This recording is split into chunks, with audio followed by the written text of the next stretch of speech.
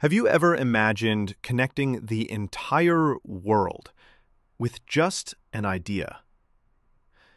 In the late 1980s, one quiet computer scientist changed the way humanity shares knowledge forever.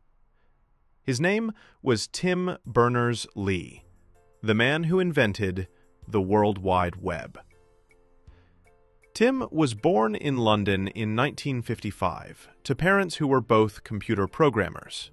He grew up surrounded by logic, circuits, and questions about how information could move between machines. As a student, he loved to tinker, building his own computers from spare parts. When he joined CERN, a research center in Switzerland, he faced a problem. Thousands of scientists were working together but their computers couldn't easily share data. Each system spoke its own language. Information was locked away in isolated silos. Tim wondered, what if there was a way to connect everything, every document, every computer, through invisible links? So, in 1989, he wrote a simple proposal. It was called Information Management a proposal.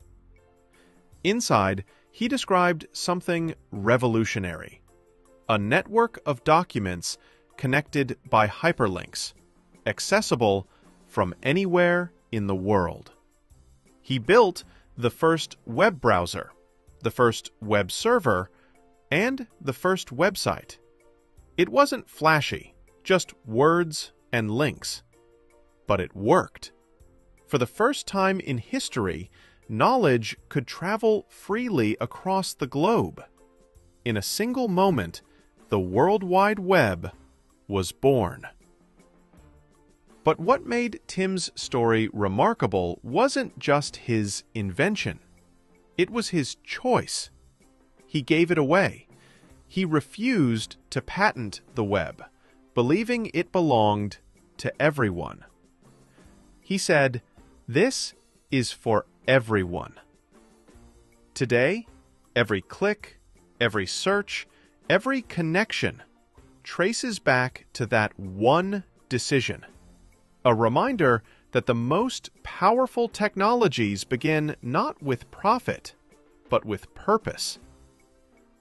Tim Berners-Lee's story reminds us that one idea, shared freely can change the course of human history.